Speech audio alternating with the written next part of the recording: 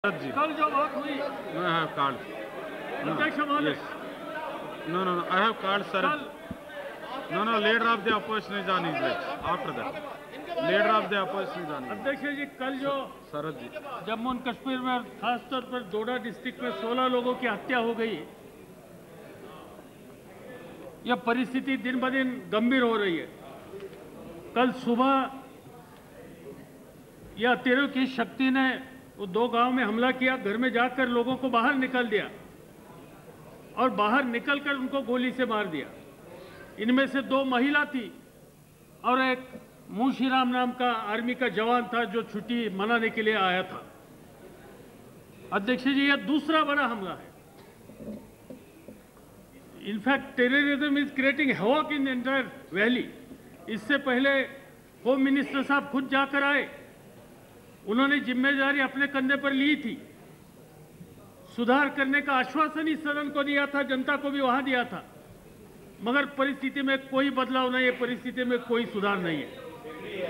वहाँ की परिस्थिति और खराब हो रही है। पुराने जमान। No, no. ये सरकार आने से पहले जम्मू कश्मीर में तेरह बटालियन सुरक्षा दल का दिया था।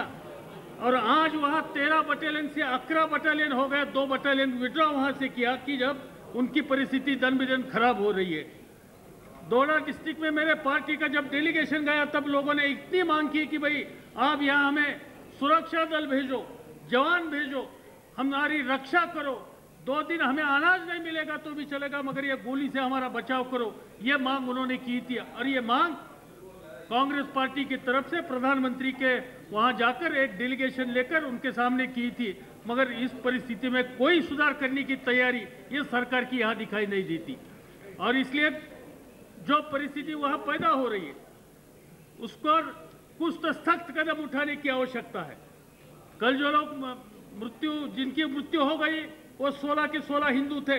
तीन दिन पहले जिन लोगों की मृत्यु हुई, वो सब लोग मुस्लिम थे। वहाँ कौन सा समाज का व्यक्ति है, कौन सा धर्म का व्यक्ति नहीं ये बात इम्पोर्टेंट नहीं है। मगर जिस तरह से ये आतंकवादी वहाँ जाकर हमले करते हैं, उनको नियंत्रित करने के लिए हम कुछ कदम नहीं उठाएँगे तो परिस्थिति और खराब होगी। और इसलिए गृह मंत्री से मैं मांग करता हूँ, उनसे अनुरोध करता हूँ कि उन्होंने सदन के सामने आकर स्थिति पूरे देशवासियों के सामने रखनी चाहिए। और आवश्यकता हो तो इस बारे में एक दिन डिटेल डिस्कशन के लिए आप मान्यता दीजिए।